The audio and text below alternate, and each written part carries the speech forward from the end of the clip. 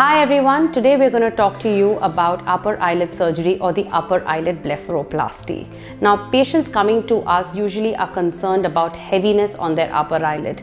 Many of them complain about excess skin in the upper eyelid. Some of them feel the upper eyelid is feeling very heavy due to drooping eyebrows and some of them also notice certain popping fat bags on their upper eyelid.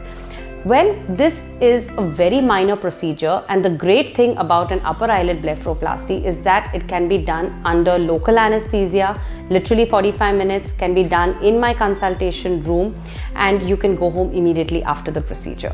In an upper eyelid surgery, the common complaint people say is that we are feeling very heavy. The upper eyelid is literally hanging over the eyelid, unable to sometimes perform normal activities. For a few people, the upper eyelid skin gets so heavy that they find it difficulty whilst reading a book, watching televisions, or just opening up their eyes. Many of them who complain about the excess fat bags, we do a skin removal along with removal of the excess fat bag.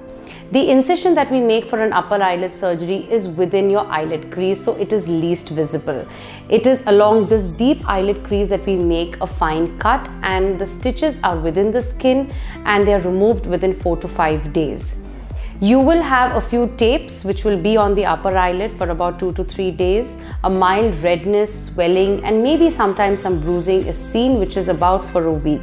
For those who are fair skinned and Caucasians, they may see the redness and bruising a little more prominent. For those who are dark skinned, maybe the bruising and redness may not be so evident. This minor procedure will show you results within a week and the swelling usually wears off in 7 to 10 days. So if you're looking to get a more brighter and fresher looking eyes and you are suffering with heavy eyelids or fat bags over your eyelid, I think upper eyelid surgery is something you should consider.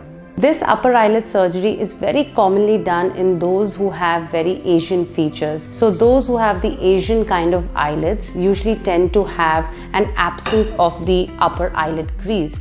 And these men and women very commonly come to us and what they do want is to create a deep eyelid crease, just like mine.